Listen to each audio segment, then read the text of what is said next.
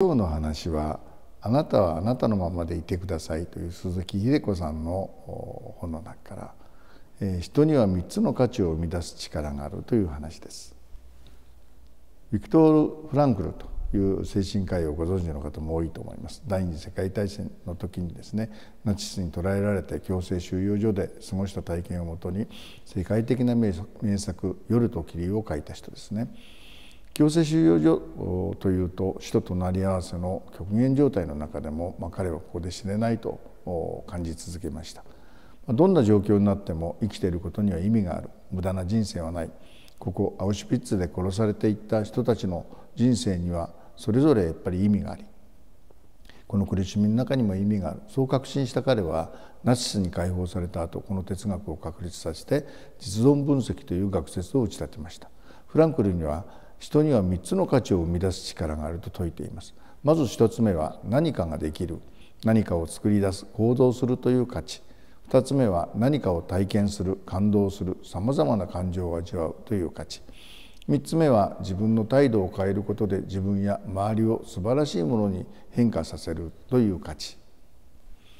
彼はどんな日常も素晴らしいもので価値があるという信念を持っていました。そしてどんな人生にもそれぞれかけがえのない素晴らしいものであると伝え続けました。彼の講演会でこんな質問が出たことがあります。フランクル先生は立派な精神科医で多くの人を励ますメッセージを広げていらっしゃいます。だからあなたの人生は生きる意味があるでしょう。ですが私は洋服屋です。私の人生にさほど大きな意味はありません。ということを言ったんですね。でフランクルは答えました。あなたは洋服を作ることを通して人々に喜びを与えています。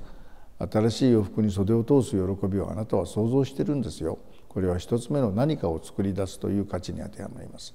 続いてこんな質問も飛び出し飛び出しました。私は元デザイナーです。ですが病気で手足が動かなくなり廃業せざるを得ません。私には何かを想像する価値がなくなってしまったのです。フランクルは答えます。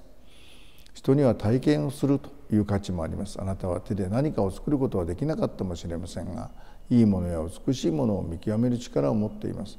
他の人が想像したものの良さを感じたり味わうことができるんですからこれは2つ目の体験するという価値に当てはまります。またある時フランクルはこんなことを語っています。入院生活を送っているおばあさんが言いました。毎日病室で寝たきりです。ある朝彼女は窓の外を歩く勤め人の姿を見ます。そして考えます、えーまあ、自分がですね挨拶をしてですね周りの人を元気にさせようということで、まあ、そうしたら最初は挨拶してくれなかった人たちも挨拶するようになったと。これは3つ目の価値ということですね。じゃあ今日これで終わります。